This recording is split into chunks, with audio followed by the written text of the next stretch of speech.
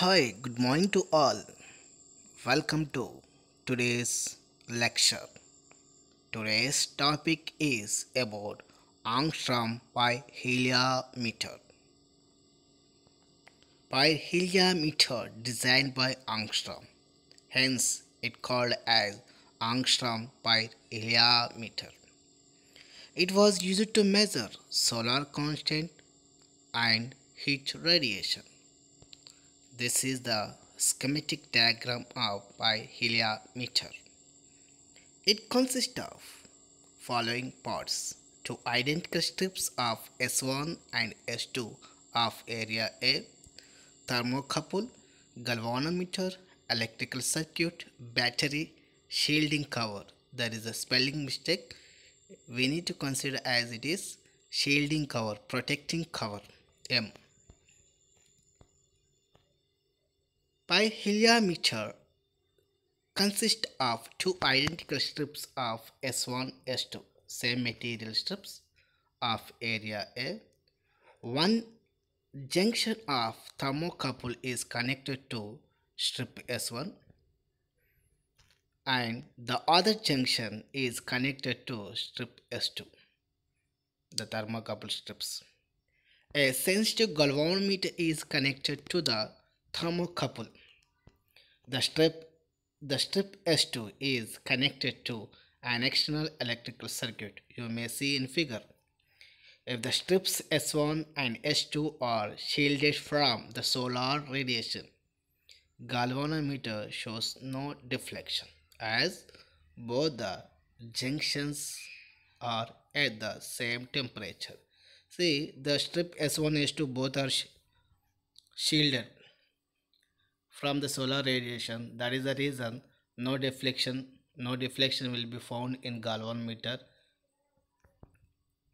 When strip S1 is exposed to the solar radiation, one strip of S1 is exposed to solar radiation and S2 is shielded with the cover M that is a shielding cover M as S as strip S1 receives heat radiation from the sun, its temperature rises and hence the galvanometer shows deflection. So S1 is exposed to the radiation then its temperature rises so we may we may observe some deflections in galvanometer. Hence because of deflection a current is allowed to pass through the strip S2. Then both the strips of S1 S2 will be adjusted to the same temperature then no deflection will be found. Means the deflection in a galvanometer goes to be null means no deflection arrangement because of the strip S1 S2 temperature will be in same. Then in S2 and S1 what is happening? The quantity of heat radiation that is incident on unit area in unit time and strip S1 is considered as Q quantity of heat. A is the absorption coefficient. Then what is the total amount of each radiation absorbed by the strip S1 that we can consider as QAA this we taken as equation 1 similarly there is a heat produced at S2 the heat produced in unit time in the strip S2 considered as Vi, where Vi is the potential difference and I is the current flowing through it. This we may consider as equation 2. So here from equation 1 and 2. So S1 is equal to S2 because no deflections both are in same temperature range so the galvanometer is adjusted to the no deflection condition. Then S1 is equal to S2 means the strip S1 equal to S2.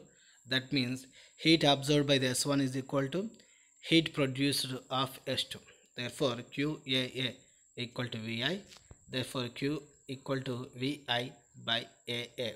Then the final conclusion is that the heat radiation will be calculated when we have the values of V, I, A and small a. Thank you.